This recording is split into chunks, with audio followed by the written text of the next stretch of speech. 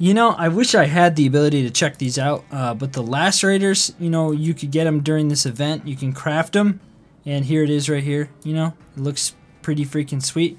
And I wish I would have, you know, if I wish I could have a chance to get them. I don't, I didn't play a ton, so I couldn't really, obviously, get them. But it's only something that's available during this time, and so it's a pretty special part. Now, the thing with the the thing with the lacerators are that they do more damage the longer you're in contact with something. But I think what did didn't somebody do a test or something that it seemed as though, or maybe it was with the what are they even called the Druzhbas anymore? What are they called now? The Maulers. With the Maulers, like only one or two touched all the time, and so I wonder if it's the same way with the lacerator or if it's different. Just love to hear your thoughts on it in the comment section below. Leave a comment. Tell me what you think of them. You guys remember this build? This is the build that I dubbed to be the best build that I ever played with. It's got two Reapers and a Kapkan. The thing absolutely shreds thing things down. It's got tons and tons of ammo, and you can just constantly fire with the thing. It's quite insane, but I think I found a way to make it even better, and it revolves around a higher output damage weapon, as well as a couple tweaks to the vehicle itself. I think it should do well. Uh, I hope so at least. Let's do it. Sector X. So here's what I did.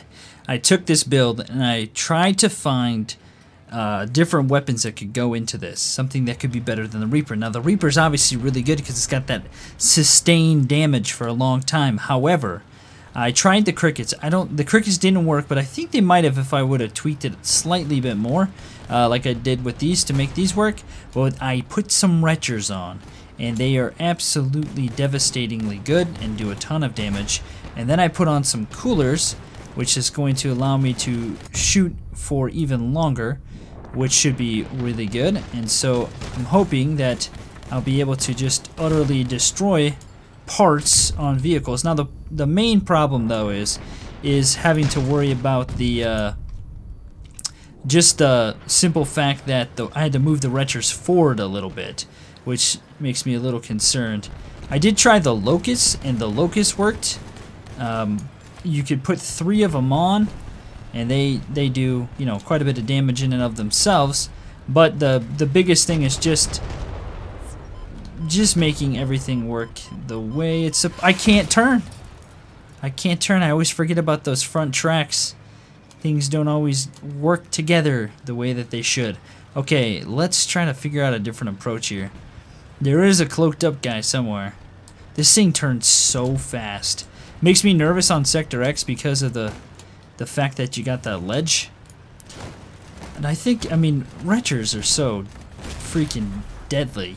And I took an ammo box off, I tweaked the thing slightly, put two coolers on, and, uh, oh gosh, I thought that was the guy. Come up on me and pop a Kapkan? It's what it sounded like. Okay, they still got quite a bit of guys There's Sadland. Always look for Sadland, man. Oh, there's there two back here, chasing this guy. Kind of want to go for that loner guy. I also want to just try to rain some down on Sadland over here.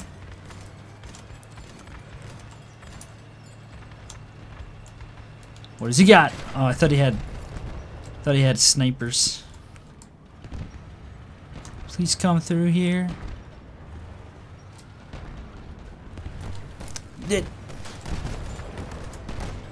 I don't want to lose my stuff though. Even though I've got tons of armor on this thing he could still uh, cause me enough damage to have some issues. Let's go together. Was that that guy?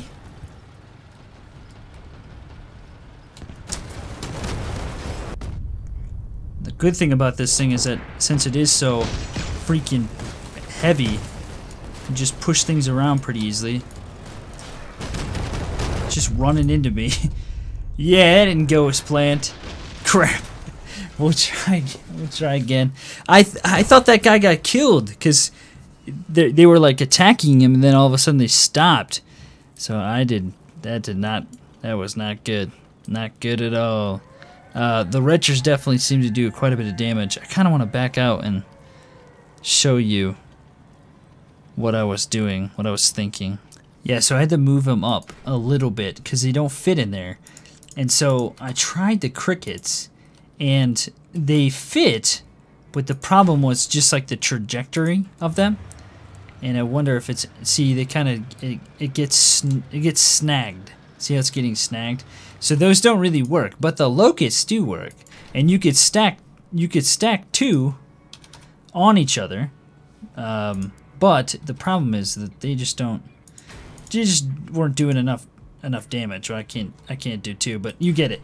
Um, it didn't it didn't work it didn't work out the way that I wanted it to, and so I thought, well, let's try retchers. And normally, as you guys probably know, I don't like using retchers or any grenades because I there's the durability is so low. But since there's so much armor on this beast, I figured, hey, this could work. So let's give it a shot. I think this is my new favorite build, like the best build. Like this thing is definitely, in my opinion, well, I think some people would disagree, but like depending on what you're facing, this thing is really good because this is constant fire damage, damage output, and so you can take out hovers and all kinds of other things pretty easily.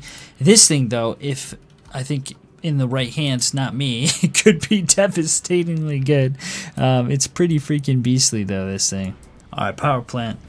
I, I I'm I'm fully convinced that this will be better, given enough like testing and given enough matches. I, I'm fully convinced this will be a better version, just simply because of the damage that it could do. In it's so maneuverable. It's crazy. And you know you can just spam and stuff and hope for the best. Things coming down through there. He's coming up through there. They coming. Burned. Burned. See, I just gotta get... Look at that. Two, look at that damage. It's nice being able to shoot over time, too, and have to... And just lay into them. Jeez Louise. Things dying all around me over here. And you could just, you know, lay down support by just draining in and I got tons of ammo. Just raining in nades all day. That's what I'm talking about. Look at this guy's build. What do you got going on there? I like whatever you got. Yo, look, his cab is exposed, huh?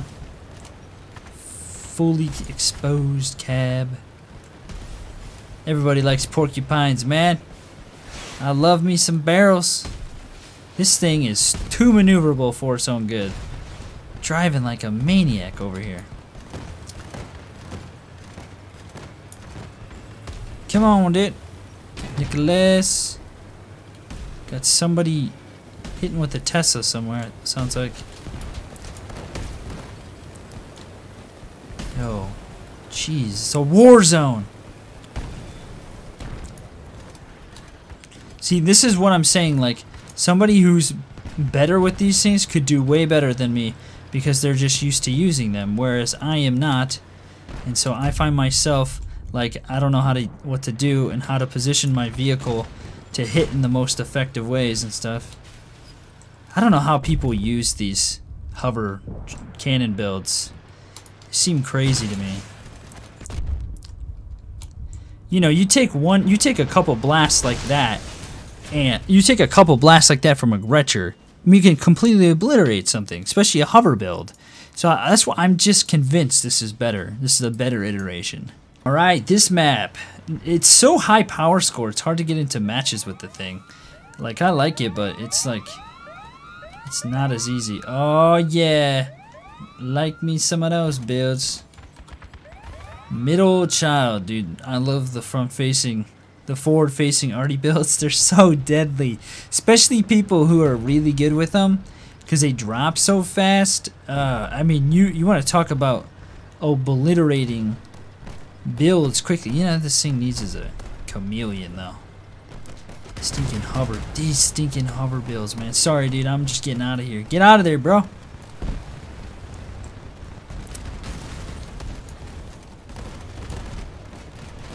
What just happened there?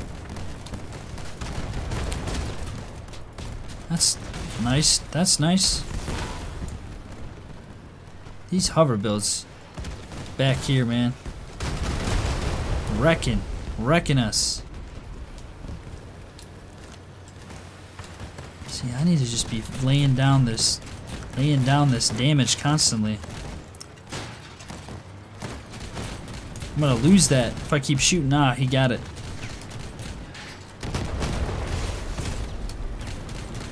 Back up on him.